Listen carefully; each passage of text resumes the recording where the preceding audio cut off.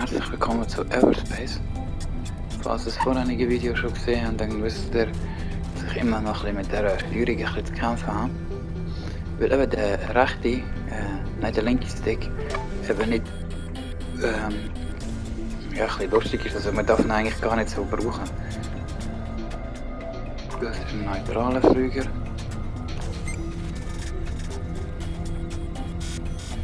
Outlaw-Drohne, okay.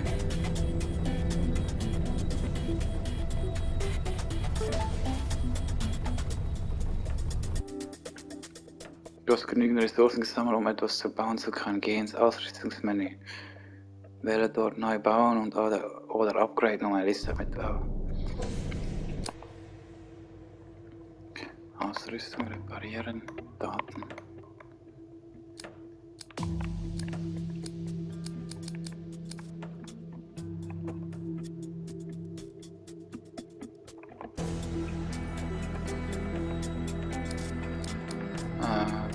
of I don't.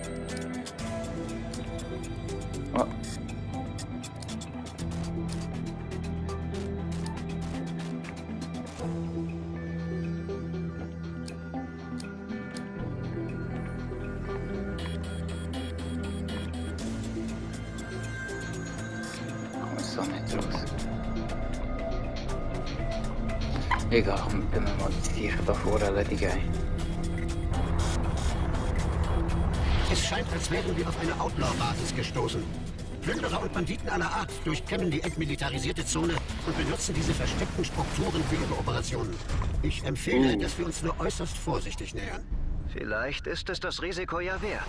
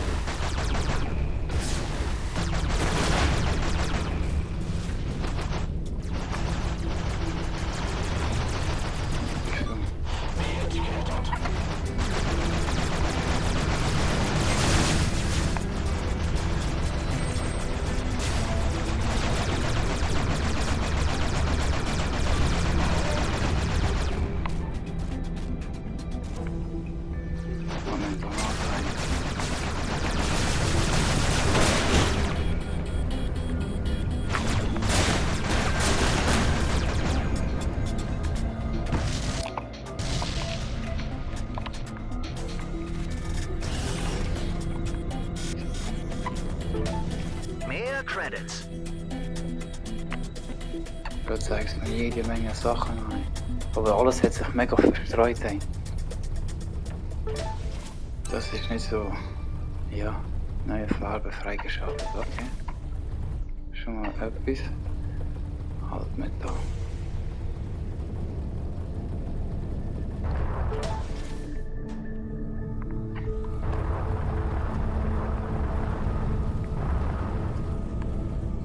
Und das ist äh, Ding.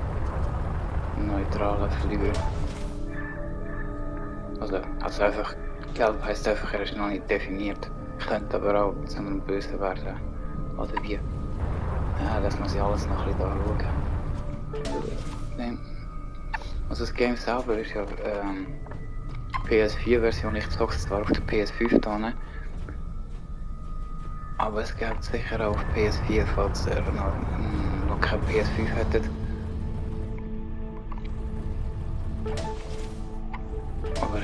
Game, ja. Ich spiele jetzt eben erst zum ersten Mal, also zum zweiten Mal jetzt. Und ich muss sagen, eigentlich war es schon noch cool, aber irgendwie stelle ich mich schon ein bisschen dämlich ein. Da noch Plasma-Treibstoff.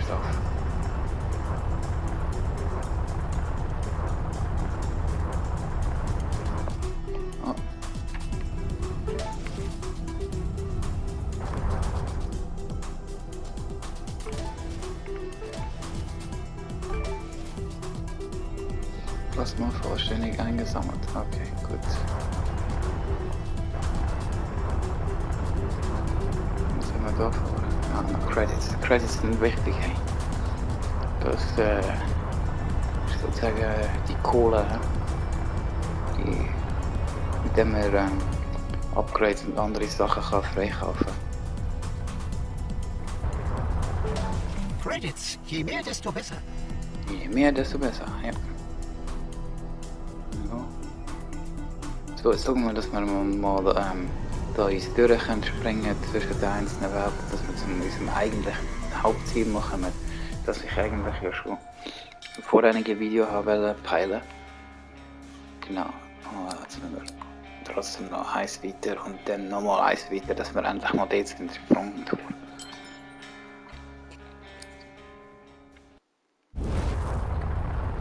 Die Gebiete sind sehr geil gemacht, das muss man schon da. Sieht, sieht wirklich geil aus da.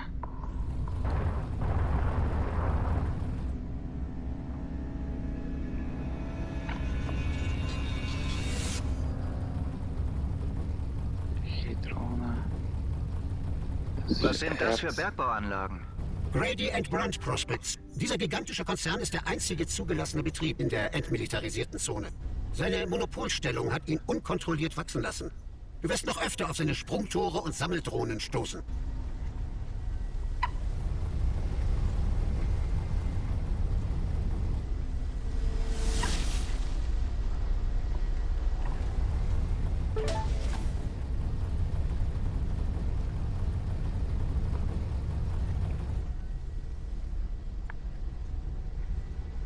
Interessant, aber wenn ich jetzt hier voll reinballere, dann habe ich sicher Probleme mit dieser Firma. Mache ich sicher noch Stunk dann. So, dann Einsammelerz. Ich weiß gar nicht, ob die überhaupt das so cool finden, wenn ich da einfach Sammeldrohne, Sammeldrohne.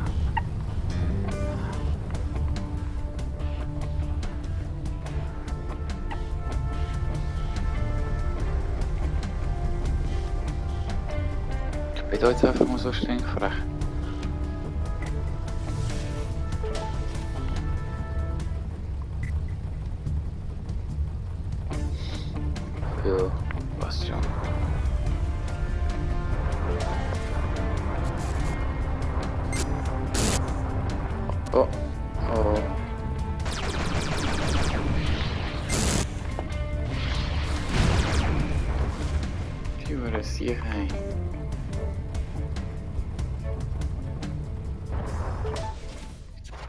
Treibstoff, wenn die sich noch etwas hinterlassen. Das Zeug ist so klein gemacht eigentlich. Ich manchmal gar nicht richtig, wo ich was muss einsammeln oder überhaupt kann einsammeln.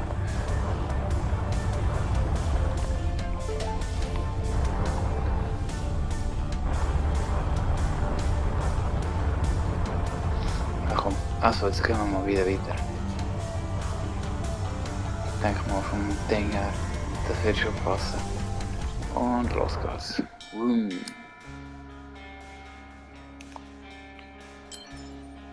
So, jetzt können wir endlich mal, sind wir, jetzt sind wir endlich mal dort, wo wir eigentlich im vorherigen Video schon haben sein. Sprungtor in den nächsten Sektor springen. Du hast das letzte Gebiet in diesem Sektor erreicht. Fliege durch den Sprungtor, um in den nächsten Sektor zu gelangen. Für diesen Sprung wird kein Treibstoff benötigt. Sprungtore sind Ah, die beste. Methode, um zwischen den Systemen zu reisen. Sie wurden von Grady and Händler. Prospects gebaut, damit deren Bergbaudrohnen schneller an ihre Einsatzorte gelangen. Okay, danke für die Einführung. Und das soll ich jetzt benutzen? Es ist unser einziger Weg, in den nächsten Sektor zu gelangen, also ja. Ja, aber da einen Händler. Das nimmt mich schon noch Wunder, ob ich da was handeln kann.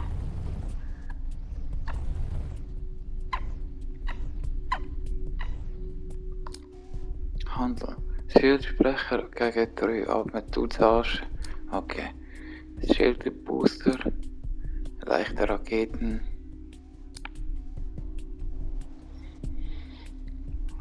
Da. Und du zahlst den.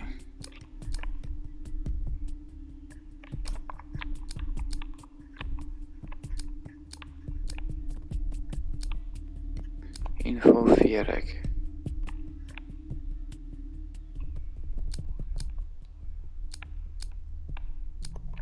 Ah, okay.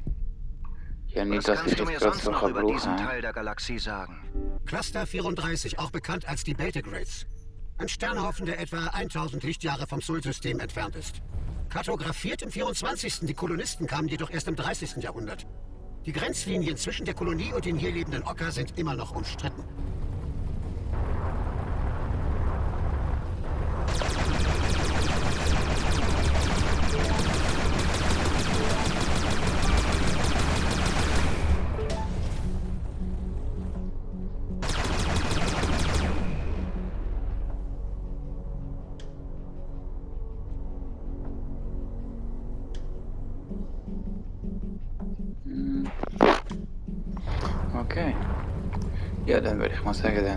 Springen wir doch durch das geile Tor, hä?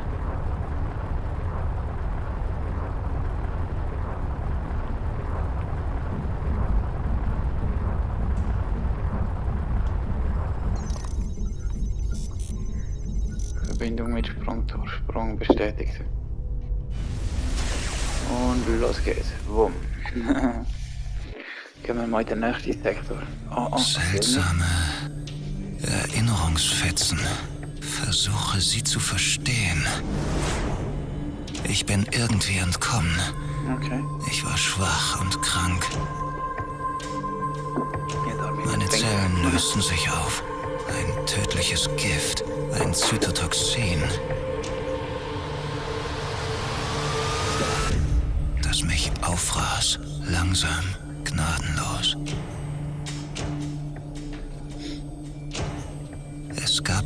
Es aufzuhalten, aber das würde dauern.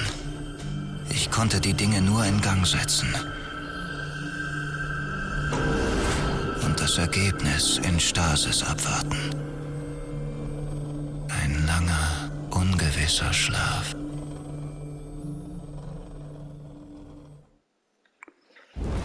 Hm, Okay. Ich Erste habe mich wieder selbst gesehen, wie ich sterbe. Das muss eine Erinnerung deines Originals sein. Anscheinend ein Fehler im Übertragungsprotokoll. Das Eterna-System sollte solche persönlichen Erinnerungen herausfiltern. Äh, Moment, was soll das heißen? Mein Original. Ich bin ein... Ein Klon, ja. Eigentlich sollten Kopien zum begrenzten Einsatz das nicht erkennen. Eterna sollte nur operative Fähigkeiten wie das Steuern von Raumschiffen weitergeben. Aber hier ist wohl etwas schiefgelaufen. Halt! Aha. Schiefgelaufen? So viel bekomme ich nicht auf einmal in meinen Kopf. Warum passiert das? Wer bin ich? Wer ist mein Original? Dazu habe ich keine Informationen. Vielleicht hat diese Anomalie einen Zweck, der sich offenbart, wenn wir die angegebenen Koordinaten erreichen. Ich habe leider keine Antworten, bin jedoch ebenso neugierig wie du.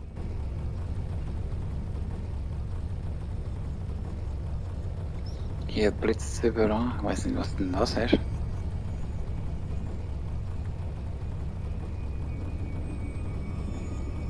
Ich will da nichts an mir sammeln.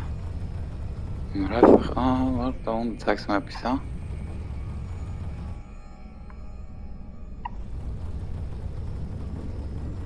Jetzt mir doch etwas angezeigt, so die Runde.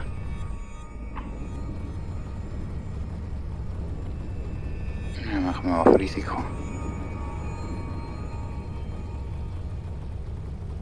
Blitze im Weltall. Wie ist das möglich? Magnetfelder erzeugen Reibung. Eine Anomalie. Aber visuell sehr beeindruckend.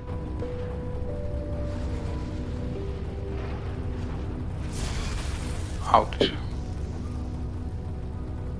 Und ähm, auch schädlich, wie wir gesehen haben. Wie haben Grady und Brunt es eigentlich geschafft, den einzigen Vertrag für die entmilitarisierte Zone zu bekommen? Dank ihrer guten Sprungtorinfrastruktur waren sie die Ersten vor Ort. Was ihr Monopol angeht, war die enge Beziehung mit der kolonialen Flotte sicher ein entscheidender Faktor.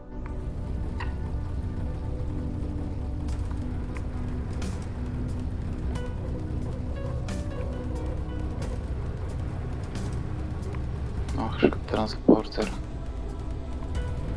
Okay.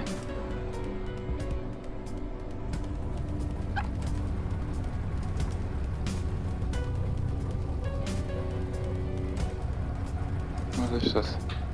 Pulse Laser.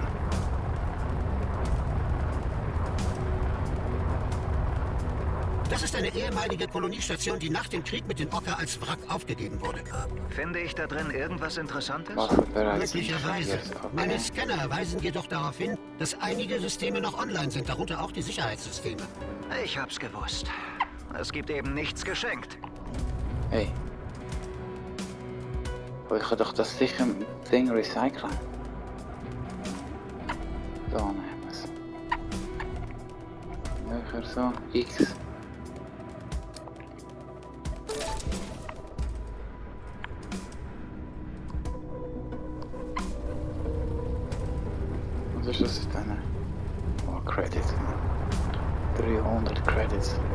Das ist gerade schon schneller Reis wert. Autsch. So, jetzt gehen wir wieder raus da.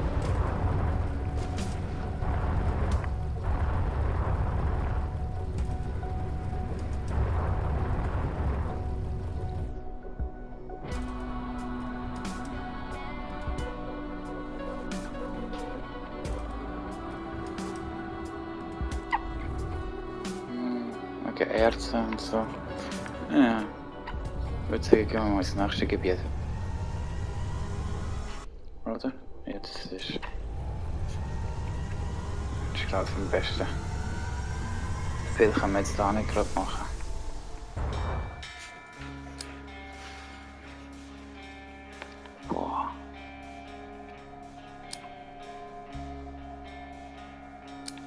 Mittlere Weg, äußere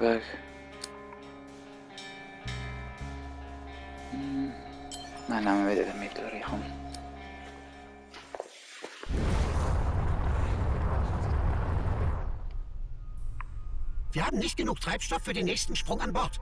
Oh, dann finde ich mal besser welchen.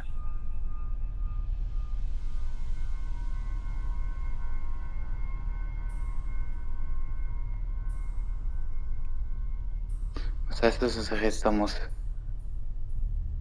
Hm, Und das ist so eine Elite-Ding. Ja. Für eine entmilitarisierte Zone ist hier aber ziemlich viel los. Die entmilitarisierte Zone ist eine Grenze zwischen der Kolonie und den Orca, die nach dem Krieg gezogen wurde.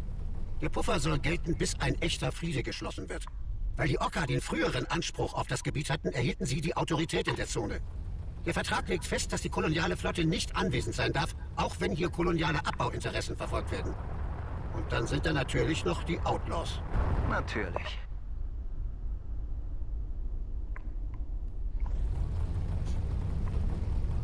Ja. Äh, Frachterfrag. Da vielleicht was Gescheites finden. Mal schauen. Uh.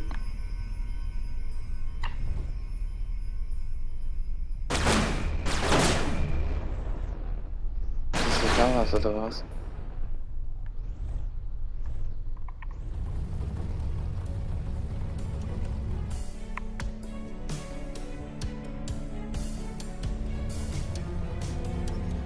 Danach kann man Treibstoff nachholen. Servicestation, ja. Das ist eine Servicestation. Weißt du, was in einer Servicestation passiert? Ich dachte, ich stelle hier die Fragen. Tust du das? Ähm, Treibstoff auffüllen, reparieren, handeln? Du lernst dazu. Angebot öffnen.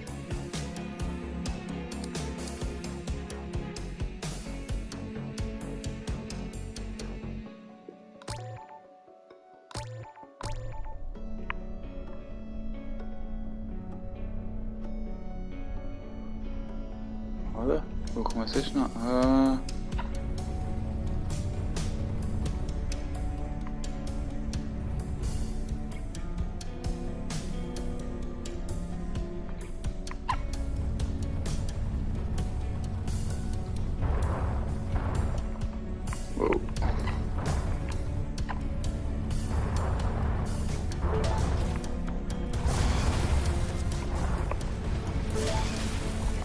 Zelt und verbucht.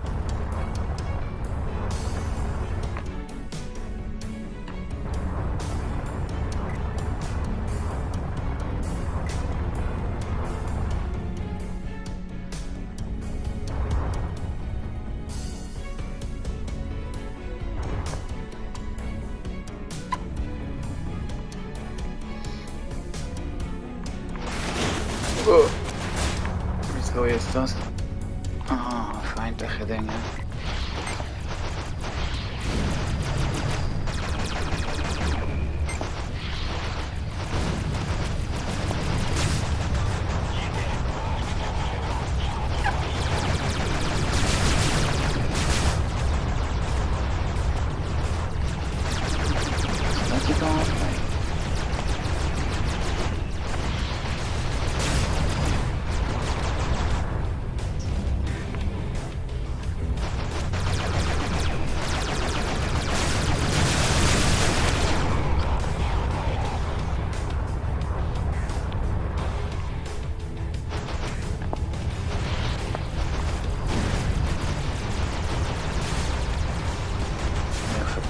verpiss mich da lieber gerade für. Und nicht genügend Treibstoff. Wie doch, hat jetzt gelangt. Irgendwie. Dafür nötige Ressourcen nicht an Bord, also versuche sie zu finden, bevor es zu spät ist. Okay. Also. Reparieren.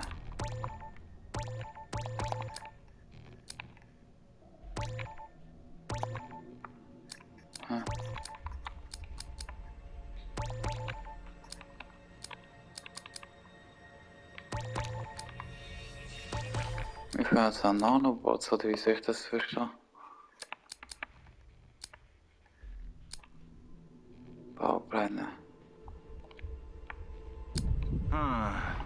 Treibstofftank ist fast leer.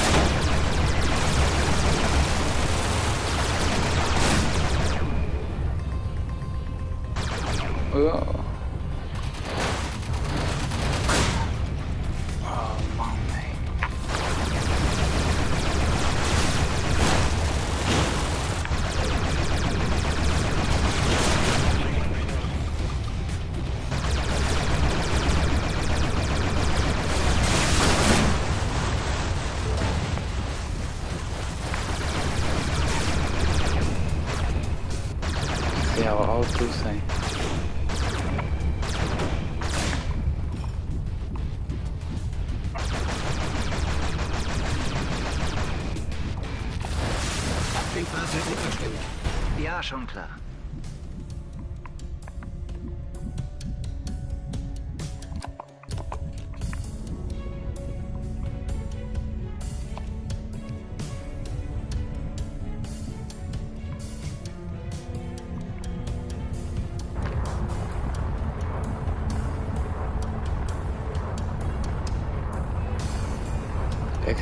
Extrahierbares Erz, okay.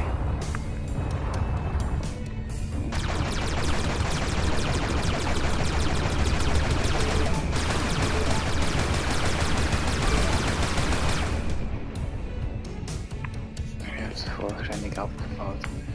Was haben wir denn da noch?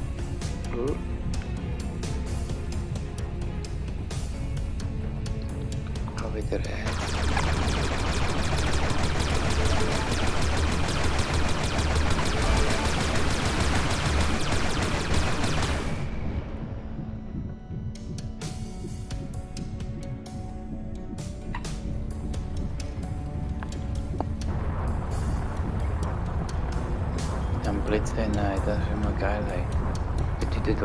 Dass wir den Schaden kassieren.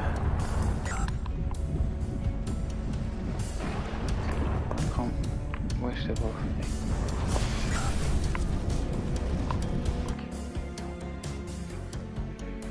Streukanone. Öl pro Sekunde. Immer austauschen und der andere recyceln.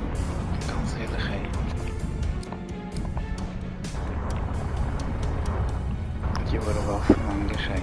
Das ist so wichtig, da auszufinden, welche Waffe wo die besser ist. So, jetzt mal, mal schauen. Ich doch sicher irgendwo.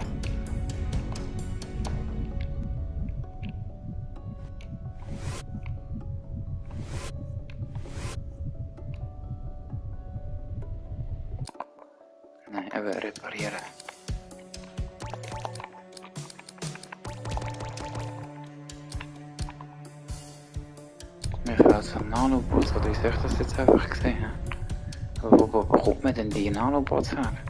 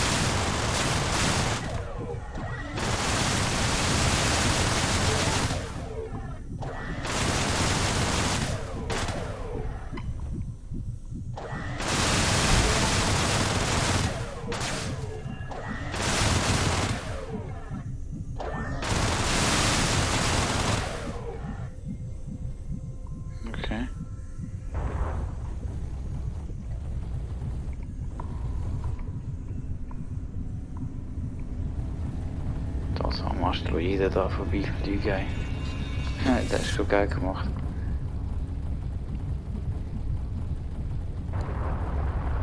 Ich finde aber da nur Erze bis dann raus.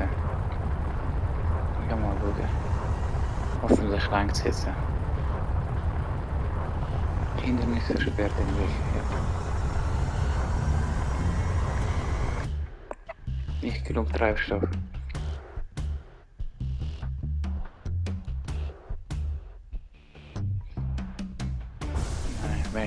Wenn ich zu wenig Ding habe. Aber wie komme ich denn an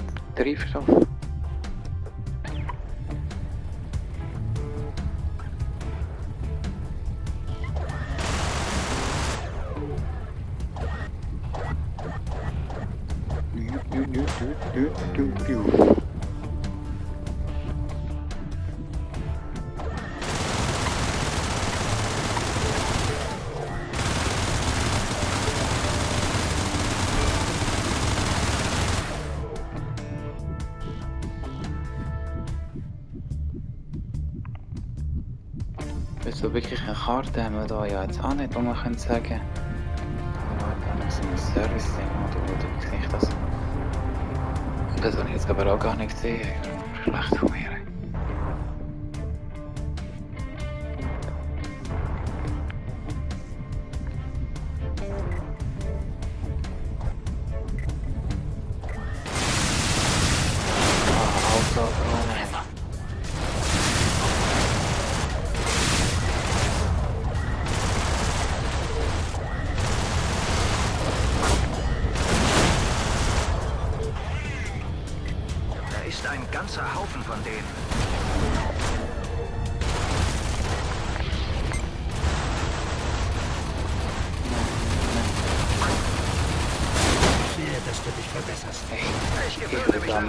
Langsam nur dran. weggeballert wie nichts. ey.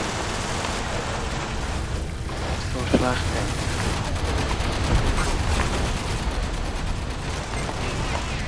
Sieh doch das Zeug an, ey. Boah. So schlecht wieder von mir, ey. Mal Credits einsammeln.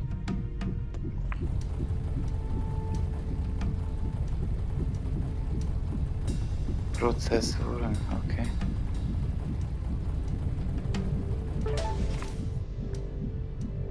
Aber zum Reparieren brauche ich den. Credits und Handelsding. Ja,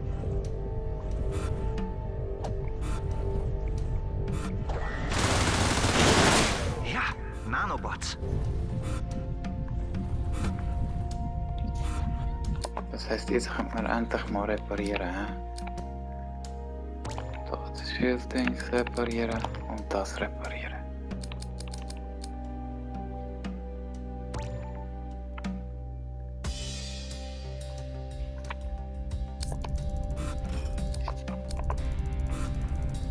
Okay, dafür wieder Gegner. Oder wo? Einige Opfer sind gerade hereingesprungen. Ich rate dazu, ihnen aus dem Weg zu gehen. Ich soll vor einem Kampf fliehen? Du entscheidest. Aber wenn du erkennst, wann man sich zurückziehen sollte, kommen wir vielleicht früher an unserem Ziel an.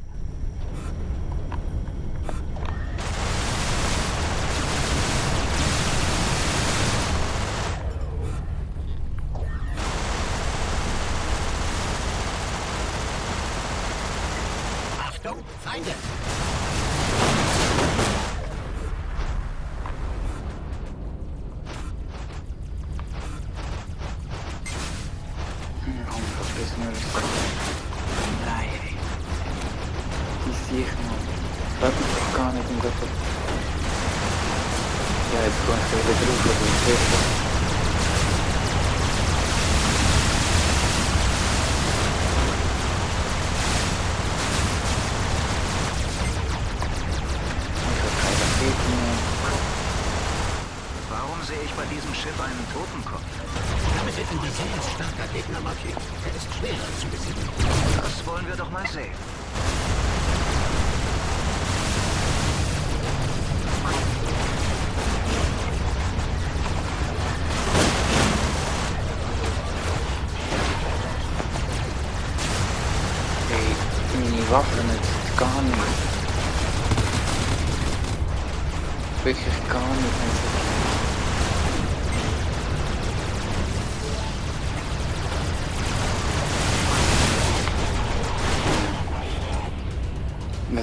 Klar gewesen. Also egal, wie ich jetzt das eingestellt habe, aber das ist wirklich sehr schlecht von mir. Hey. Oder das Game ist einfach zu brutal. Was können wir da nicht mehr? Farbe wechseln. Daten, Ausrüstung.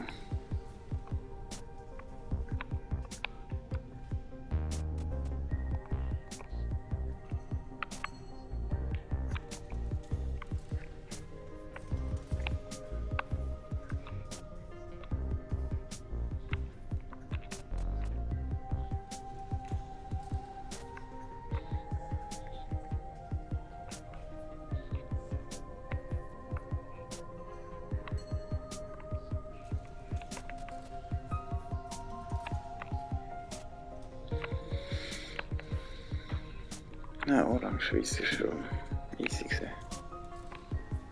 Oder so. Einmal. Mal.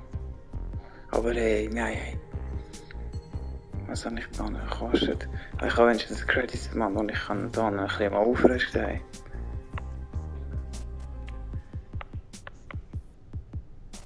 Was das? Kredit ausbeuten. Erhöht die Menge an erarbeiteten Credits. Ja, das nehmen wir sicher mal.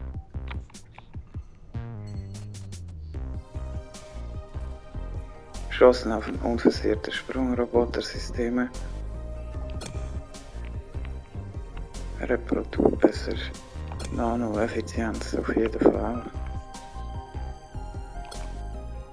Toolenslot. Das sicher auch nochmal upgradet an Energieding.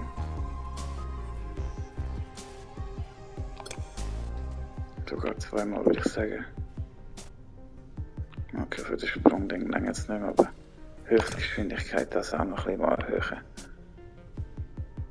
Fußgeschwindigkeit können wir noch dann auch noch erhöhen. Aber ja. interessant gewesen. Ich würde sagen, danke vielmals fürs Zuschauen und bis zum nächsten Mal. In Every Space oder Everspace, genau.